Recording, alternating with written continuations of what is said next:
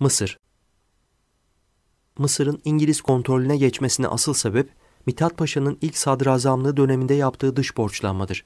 15 sene içinde ülkenin ekonomisi iflas etmiş ve bunun sonucunda tam da İngilizlerin devletinin planladığı gibi İngilizler Mısır'ı işgal etmişlerdir.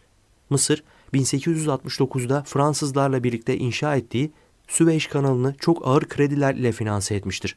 6 yıl sonra kredi faizlerini ödeyemediği için kanaldaki hisselerini İngilizlere devretmek zorunda kalmıştır.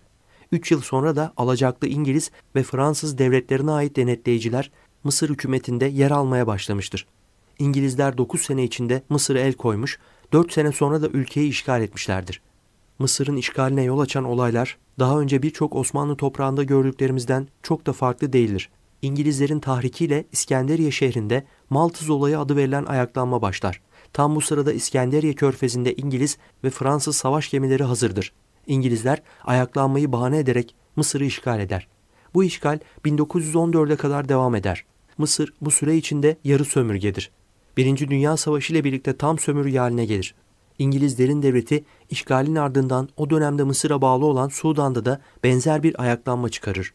İngiliz general Herbert Kişener komutasındaki Mısır ordusu ayaklanmayı bastırır. İngiltere Sudan'ı işgal eder ve Mısır'dan bağımsız olarak bu bölgeyi de kendi sömürgesi ilan eder.